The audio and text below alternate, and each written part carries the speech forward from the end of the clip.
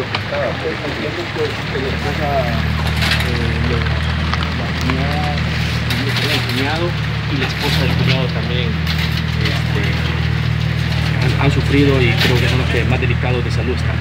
¿Qué mensaje le daría, por ejemplo, ahorita a la afición, pues a Alba, que está definitivamente preocupada por el estado de salud ahorita de A Fito? la, a la afición Alba que, que realmente ore, eh, se necesita oración en este momento, ¿verdad? Por la salud de, de- de Fito, de su señora esposa, de su cuñado, de sus hijas, ¿verdad? Eh, que ore, pero y a toda la afición, pues eh, realmente que no hagamos de esto eh, bromas que realmente son de mal gusto en este momento. Para evitar, digamos, malos entendidos, ¿para dónde iba Fito? para su casa, para su casa. Yo hablé con él una hora antes. ¿Qué íbamos- le dijo Rodrigo?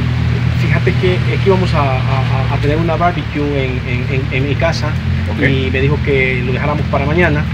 ¿verdad? Porque iba para, para Usulután a su casa porque entiendo que mañana es libre y Sí. que regresaban hasta, hasta la noche. Ok, perfecto. Muchas gracias, Gustavo. Bueno, gracias a todos. Pues seguiremos aquí dándole.